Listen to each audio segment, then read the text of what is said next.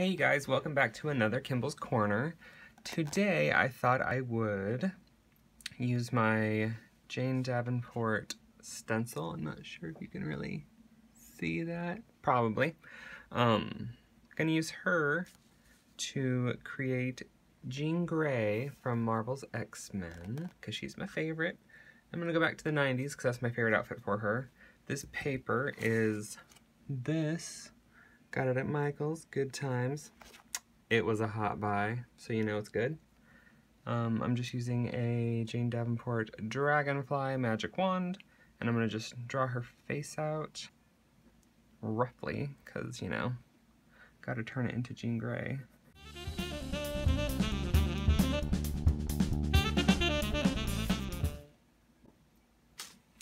Alright, so now that I have my sketch down, I'm going to kind of go back in, refine some of the lines, darken it up a little bit, and start adding some of that Jean grayness to it. So Jean Grey has kind of a headbandy thing.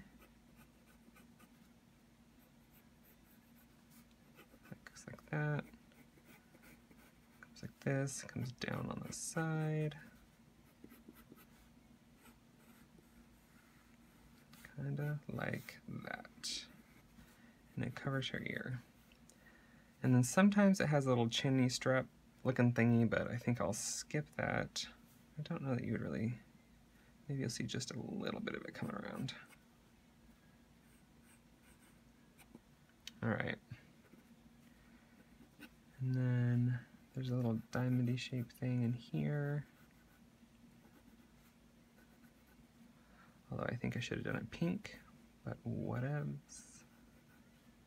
Can always go over it with like a pink paint pen. Alright, and then the top is kind of like a headband thing, so I just want to make sure that she has enough forehead. A lot of people cut foreheads off. Not this guy. Okay, sometimes I do.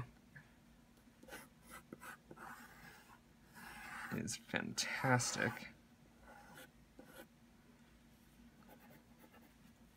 And I'm just kind of cutting it off right here because I didn't want to draw her body. And then this part, I'll kind of just have flowing up this way.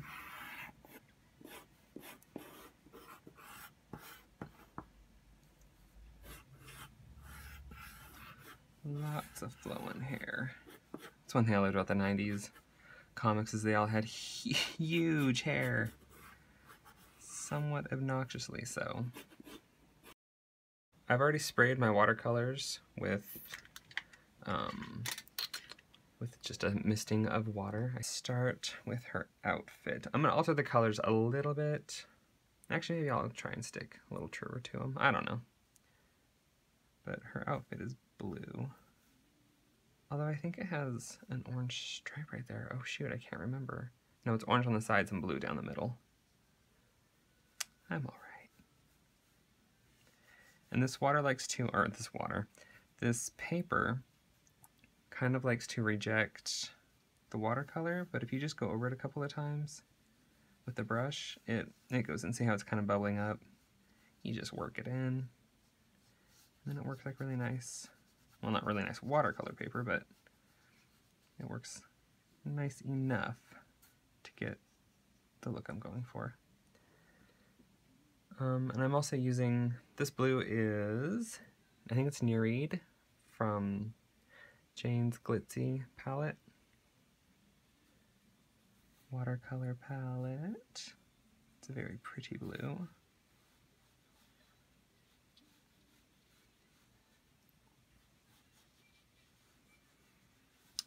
Are any of you guys out there X-Men fans? Or just Marvel fans in general? There was a comic, um, Storm used to be my favorite. And then I read an issue way back when, um, and it was, on the cover it was Jean Grey and Sabretooth. And inside, she basically got in a fight with Sabretooth. He's a very evil bad guy. Not so, I don't know, in the movies he was kind of like, eh. But in the comics he's quite, quite bad. He basically wanted to eat her. And she was like, with a single thought, I could just snap every bone in his body. I could kill him in an instant just by thinking about it. So basically, once I realized like the amount of like, I don't know, pressure she was under and how much she had to like control herself and the actual strength of her powers, this is before the Phoenix. And after, I don't know, depends on when you start reading the comics. Um, just having to control yourself mentally and physically, really. Like, it's just, it was very eye opening for me. As such a young, young little youth. I love how much these, uh, how much the background comes through. I'm not trying to hide it at all, like I want it to show through. And this is a buff from Jane Davenport uh, neutral palette. The Brights palette's my favorite one, I should know that. There's a color Mystic in there that I like to mix with the buff color to make like a nice skin shading color.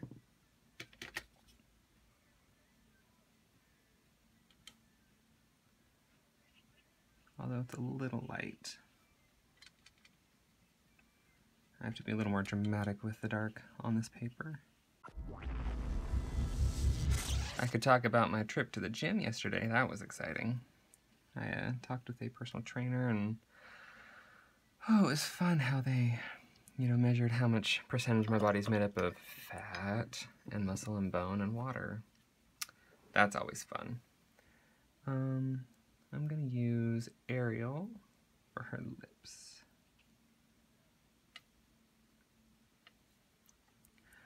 But Rocky and I, we enjoy going to the gym, but we've never actually gone all out with like the body fat measurements and stuff, but it was kind of part of the, or it was part of the sign up. So we will uh, see where that goes. I'm hesitantly excited. Try time. Let's take a darker blue. Ooh, ink is always a good color. Take some ink and we'll do some blue shadows.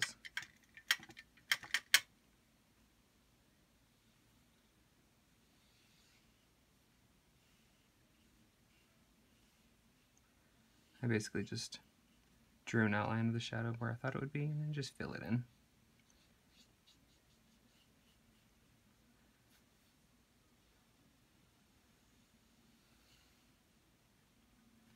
Darken up this one over here.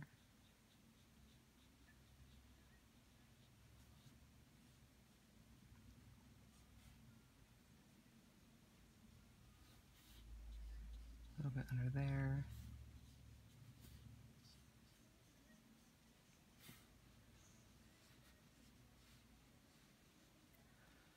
All right.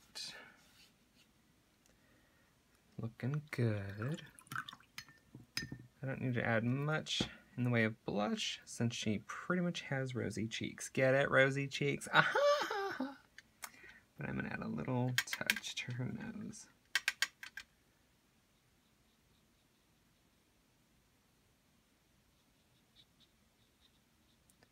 Just a hint. Alright, let's get her eyes colored in. I'm going to go with Sylph, might be the name of it from the Glitz-Sea palette. I went very light on that because I'm not sure how dark it's going to get. I went much heavier. Just color over the pupil area. I like a touch of yellow into that. Hmm, oh, there's so many fun yellows to choose from. I'm going to go with Mango, just because it's from the neutral palette. Just a little, we'll drop a yellow in there. Let's darken her lips up a little. Use a little Frida.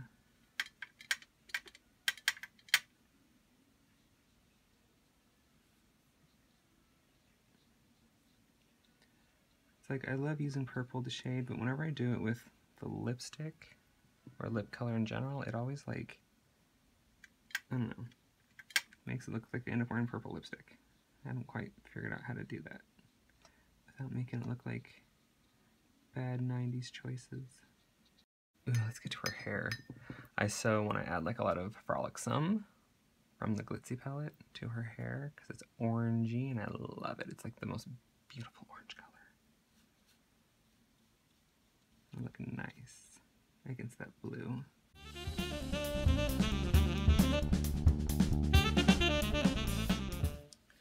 I'm not really worrying about shading. I mean, there's so much going on in the background anyway. Kind of have it fade off as it gets further away from her face.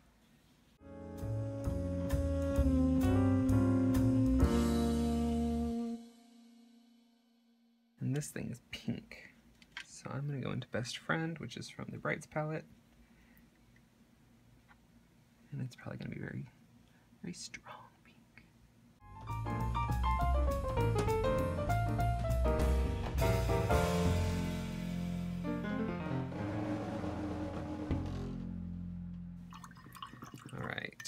Need to dry her and then start playing with colored pencils and see what I can do from there. Dry time. I always want to make sure that the uh, paper is super dry before you go in with colored pencils, just because wet paper can get eaten up very easily. Let's start and darkening in some of these blues. I think I'll try and go over the other, like her skin lines and stuff with maybe like a pink or something that's not blue and see if that'll look more like a skin tone color. Would anybody else like to see Jane Davenport draw some uh, some of the superheroes in her style? Because that would be awesome.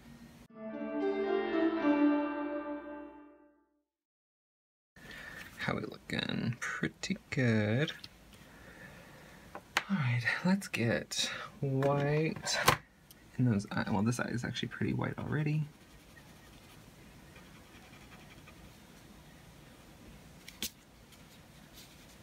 This eye definitely needs to be brightened up a little. Push that uh, pattern in the background a little. Add some highlight to her eye.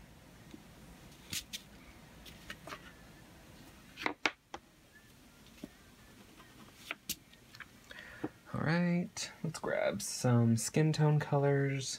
Alright, let's see if this will work. Oh yeah, that looks good. It just kind of turns into a purpley-ish color on top of that blue, blue line that I used for the uh, initial sketch.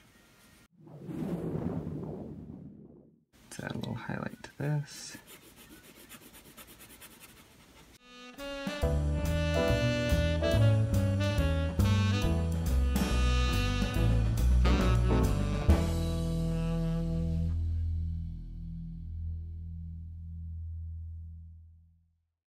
Highlights are the best. We'll do a gray blue for the shading around her eye, her eyeball. Just to help give it a little more of a round feel. Grab a red.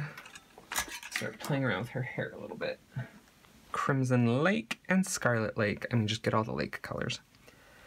Um, see if I can add a little more red into her lip rather than that purple, because now the more I look at it, the more purple it looks. Alright. Because really, if you just get the idea, when people look at it, they'll, their brains will just be like, yep, that's hair. Even if it looks like a ribbon. Clean, sketchy. Why? Because that's what I like.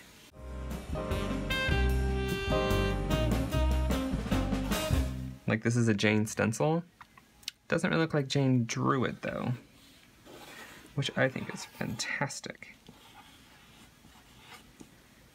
I learned a lot from watching her videos And I've done quite a few of her workshops online at janedavenport.com.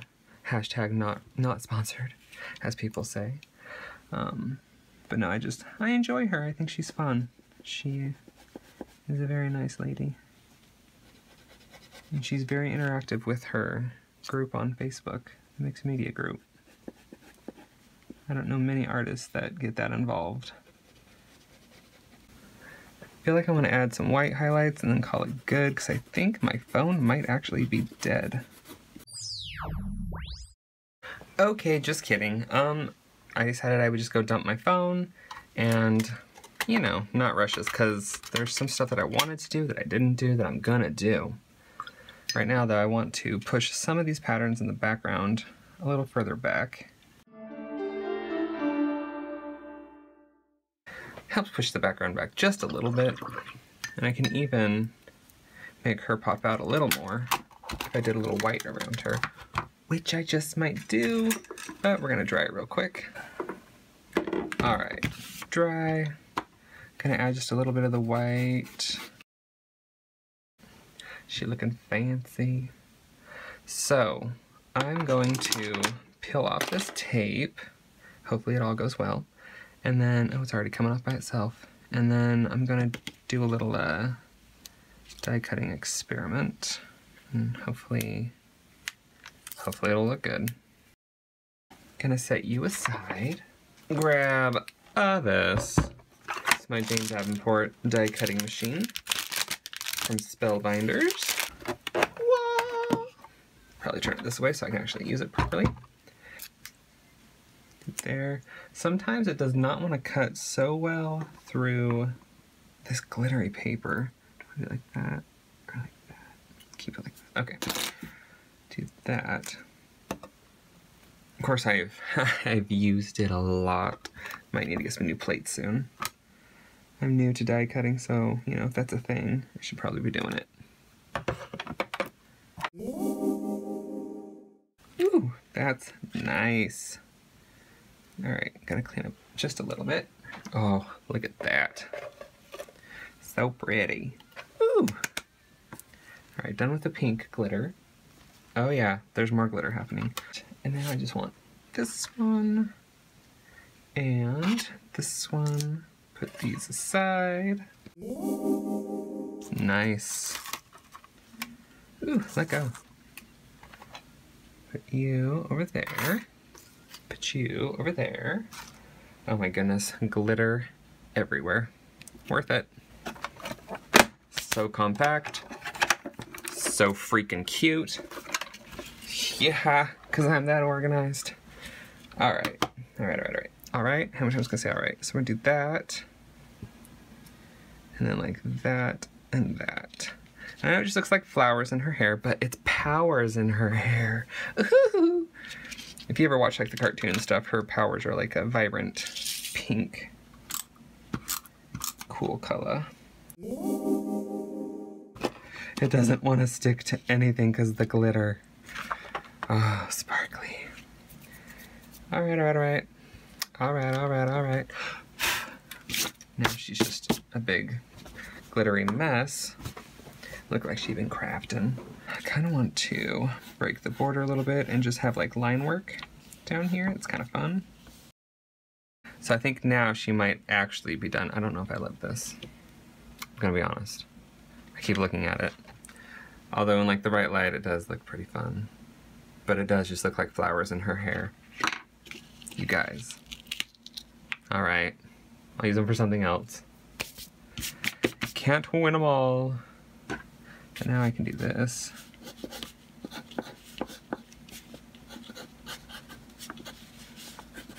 I'm just gonna have it fade away. It's like, oh, I was doing this awesome sketch and I only had time to do the center part. Alrighty that's it for Reels this time. Thanks you guys for uh, stopping by. Hope you enjoyed it. Uh, I hope you enjoyed that I totally didn't like what I did at the end with the uh, cutouts, but I'm gonna use them for something else. All right, thanks for stopping by, and I will see you next week. Have a wonderful week.